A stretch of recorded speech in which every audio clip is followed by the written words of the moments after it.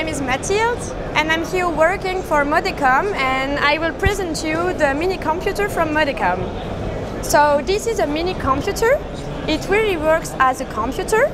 You can directly put that on uh, any screen as for instance uh, your TV screen and the Microsoft uh, application directly appears on your screen.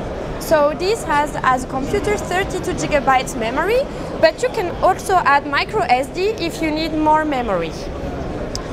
Also, there are all the entrances for a computer, and this is very useful for people traveling, for instance, or for big companies or anything.